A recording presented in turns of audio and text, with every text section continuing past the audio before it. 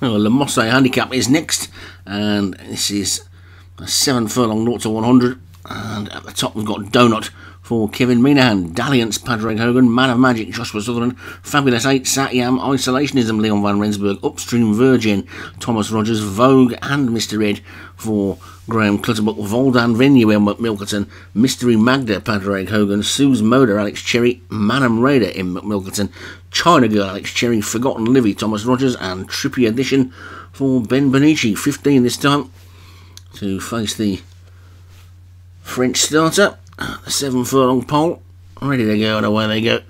And who's going to be the first one to get the early lead? Trippy edition for Ben Benici. Looked keen on the lead, but Forgotten Livy in the green jacket has got to a decent position, and now Fabulous 8 cuts across and gets over to take the lead. So Fabulous 8 it is then, just about in the lead from Forgotten Livy in second. China Girl has moved into third, and then Mana Magic and Dalliance looking towards the back. Sue's Motor on the inside, and Mr. Ed on the outside of the back two are already been scrubbed along pretty ferociously, that Mr. Ed.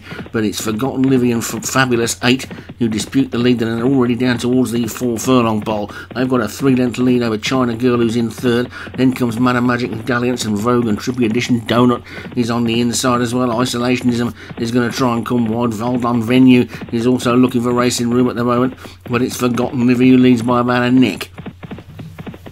Fabulous 8 on the outside, now coming up wide up the track. Vogue and China Girl are there with a chance. Dalliance is also coming through to dispute the lead now. They're past the two, and it's Fabulous 8 and Dalliance from Forgotten Livy on the inside. Vogue up the centre.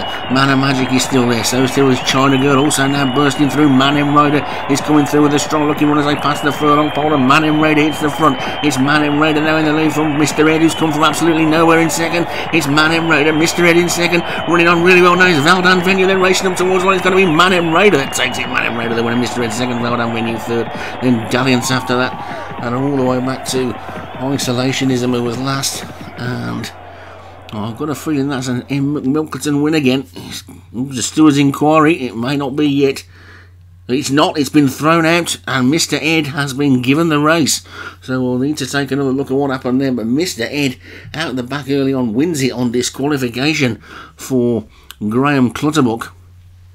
And second was Valdan Venue for M. McMilkerton, who was the disqualified trainer from first. Dalliance for Padraig Hogan was third. China Girl for Alex Cherry fourth. And Sue's Motor for Alex Cherry again was fifth.